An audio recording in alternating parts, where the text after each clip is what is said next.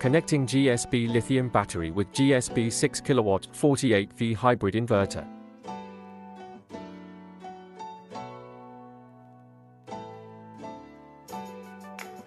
Open the cable cover.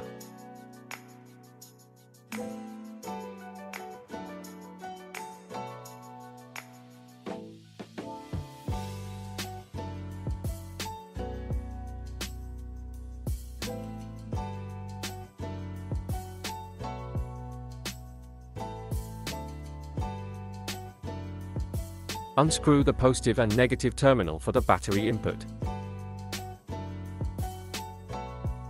Connect the positive and negative DC power cable to the inverter.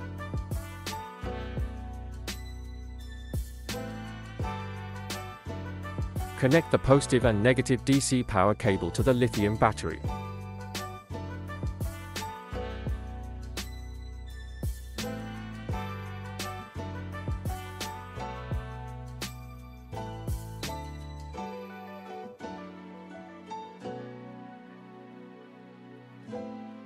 Power on the BMS button.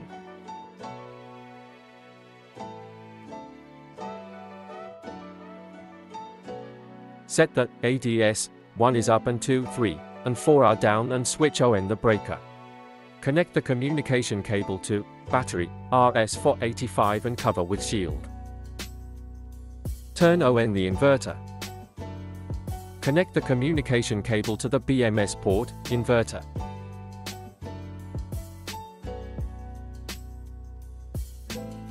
In the inverter LCD setting number 5, battery option, choose LIB.